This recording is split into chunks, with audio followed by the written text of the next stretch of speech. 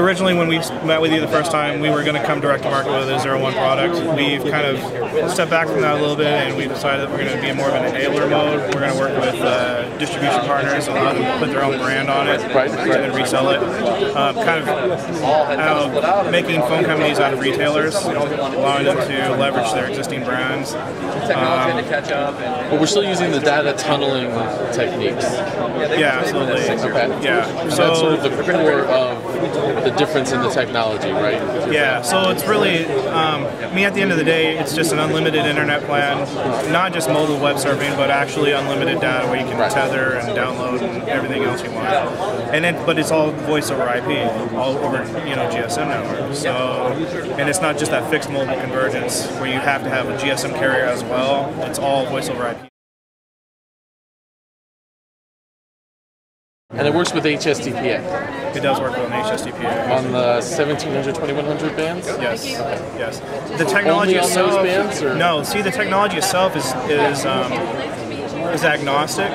It's it's not uh, band or network. Um, you know, based upon any band or network. It'll work on anything. It'll work on wired. We just decided we're going to partner with GSM Carriers because it'll give us like an international roaming capability. So when you say partner with GSM carriers, what do you mean? So what we've done is um, we've basically have interconnect agreements with GSM carriers.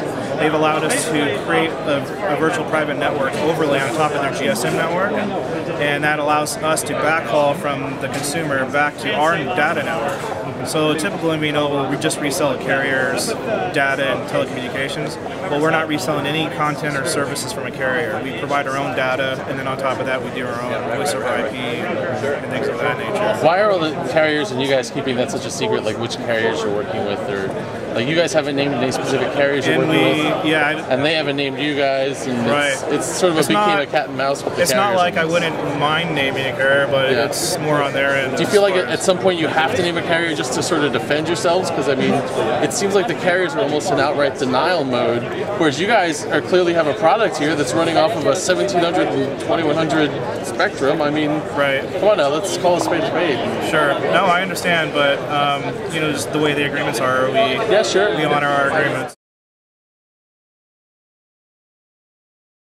So I can bring any, I can bring any device to you guys, and you guys can provision it with the special software. That's well. That's what we want to do. I mean, we're developing what's called a defragmentation engine. Obviously, I'm not sure if you're familiar with defragmentation issues, but that's basically not any one software will just operate on any device. It's device um, dependent and it's also OS dependent. And then it, what combination of OS and device you're using, because the device has its own drivers and then the OS has its own you know functions.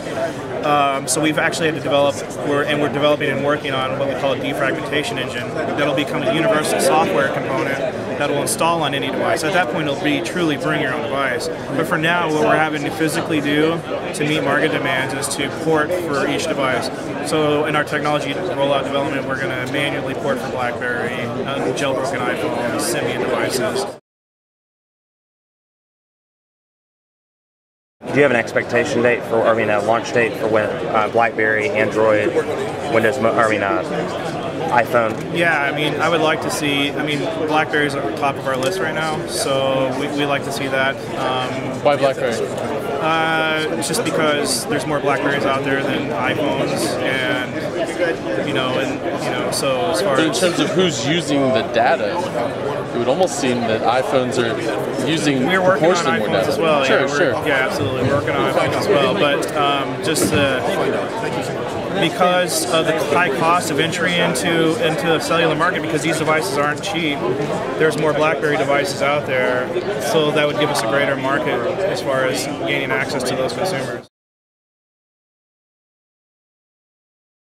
So if I want to buy, if I want to go out today and buy an unlimited data plan running off of your technology, can I do that anywhere and have a phone like right now that, you know, as a consumer, not as a, Yeah. a, a? So the data is is not software dependent. So if you just wanted a data plan, you can buy a data plan directly from us. Where? And sorry, Where? I mean, literally, like like right now, is there a consumer who can walk into a store or talk to a reseller or something? You know what? In the next 30 days, we will actually have on the street consumer, uh, retailers that you can actually get it from. Okay. But we, we, we, as far as physical ability and capability to provide truly unlimited data right now, Yeah. we can do that because it's just a SIM card based. Sure. We just authenticate you. It's not software. The software is really the. There's the still nowhere where someone can actually pay $69.95 a month and get the plan yet. Um, we have relationships with partners and we're ramping them up. Okay. So that's And why I you say say next 30 days. Next 30 days, someone will be able to buy it somewhere. yeah, and we'll hopefully by next week we'll make an announcement of who and where. Okay, but you can't say anything about who and where yet. No, and Is it going to be like more independent or more mainstream or? This one is a little bit more independent, but it's they've been around for a while. They're they're known, and we Tiered are marketing? actually sorry. Tiered marketing? Or you guys out of tiered marketing?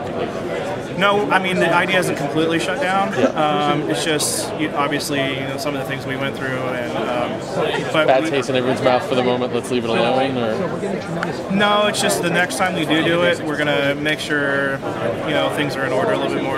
Yeah. And um, you know we are actually in discussions right now with a big box retailer, which will give us a national distribution yeah. But you're still going to need people to bring in their phones to be provisioned, or No, that's the neat thing is um, they'll be able to even maybe through a big box retailer just go and buy the SIM card, go home, put it in, sign up online, and activate themselves. Okay, okay. So it'll perform off. So I can buy any unlocked phone that works with your, like right now it would be I imagine Windows Mobile 6.1, 6.5. Does it matter? Five and higher. Okay, so I can buy a Windows Mobile, any Windows Mobile 6.5 phone that works on the networks on which you. Right. Can it work on uh, AT&T's HSDPA frequencies? Or